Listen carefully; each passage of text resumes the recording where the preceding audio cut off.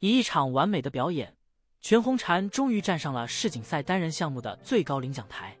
在二月六日的世锦赛女子跳水单人十米台决赛中，她和队友陈芋汐又一次神仙打架，最终以八点四五分的优势摘金。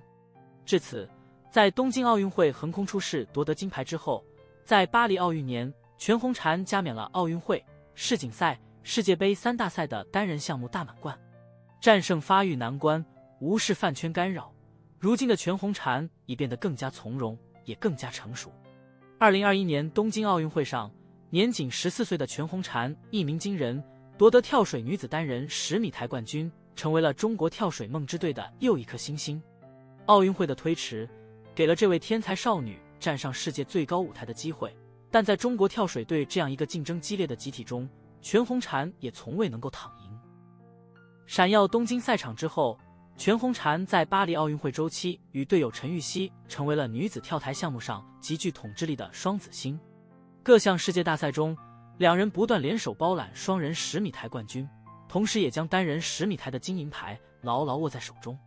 每逢单人项目决赛，两人总能将比赛变成彼此之间的追赶，与第三名拉开断层式的领先优势。总体而言，全红婵在巴黎奥运会周期的大赛单人项目较量中并不占太大优势。二零二二年的世锦赛和世界杯，陈芋汐都在单人十米台摘得金牌。二零二三年世锦赛，陈芋汐再度在单人项目摘金，蝉联该项目世锦赛三连冠。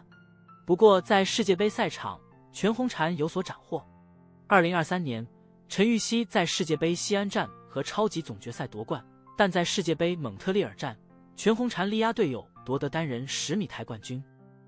如今，随着全红婵在本届世锦赛上以完美表现夺金，全红婵终于实现了在奥运会、世锦赛、世界杯三大赛的单人项目大满贯。不仅如此，在去年的杭州亚运会上，全红婵也在最后一轮反超陈芋汐。首次夺得亚运会单人金牌，经历了从东京到巴黎的奥运会周期，全红婵在一路收集荣誉的同时，也在经历着从初出茅庐的新星到顶尖选手的蜕变。对于一位正处青春期的女子跳水小将而言，和她的教练陈若琳以及队友陈芋汐一样，全红婵也遭遇了发育关的挑战。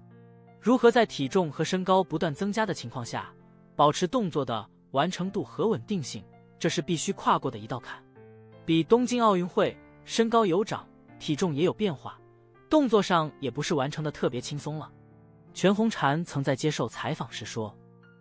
虽然依然是小个子，但相比东京奥运会，如今出现在人们眼前的全红婵已经明显在身材上增加了一号。但令人欣喜的是，在良好的控制和严格的训练下，她的技术能力仍在继续进步。之所以能够在世锦赛赛场首次夺得单人项目冠军。”全红婵在二零七 C 动作上的出色发挥是关键因素之一。此前在比赛中，她多次因为在该动作出现失误而导致分数落后。在接受采访时，他也曾表示自己对于这一组动作会多加磨练，训练还要多加改进，总结好比赛，下一场再去拼。而在夺金之后，全红婵的自我要求仍然严格。今天的发挥感觉不是特别好，感觉有点退步了，没有把自己最好的水平发挥出来。对于自己在二零七 C 上的优异表现，他也没有满足。第四跳很棒，我很高兴，但我认为还可以更好。手握世锦赛金牌，全红婵说出了自己对巴黎奥运会的期待：“我的下一个目标就是奥运会金牌。”而作为当下中国体育圈最受关注的选手之一，在追寻梦想的过程中，他也需要心无旁骛，专注于眼前的道路。东京奥运会夺金之后，全红婵一跃成为顶流。巨大的关注度带来的不仅有更多人的喜欢和支持，也有对于他家庭的打扰。彼时一度有许多网络主播涌到他湛江的老家蹭流量，引发了大众的声讨。而在一次次国内外比赛的过程中，饭圈文化的侵袭也将全红婵的名字带入了网络口水战。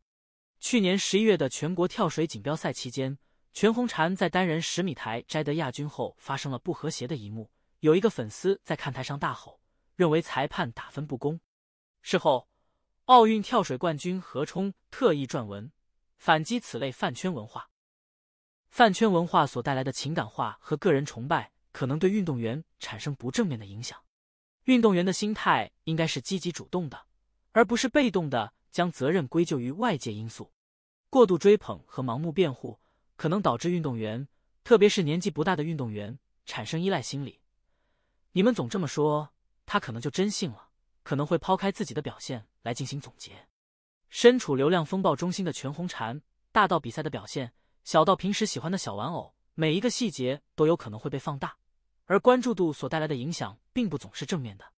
从此前退出国家队的谣言，到极端粉丝发出的刺耳甚至是攻击性的声音，但好在年少的全红婵仍然保持着自己的初心，也在一步步变得更加成熟。杭州亚运会，面对众多从看台上扔下玩偶礼物的观众，全红婵就特意提醒大家不要乱扔东西，注意安全。如今世锦赛夺金后，她也不忘称赞队友陈芋汐的表现：“乐姐，陈芋汐小名乐乐，跳的也特别好。”正如陈芋汐所说，两人虽然在单人项目是对手，但实际更是朋友。良性的竞争也是促进两人不断进步的激励。距离巴黎奥运会已经很近了，就让全红婵和陈芋汐安心备战吧。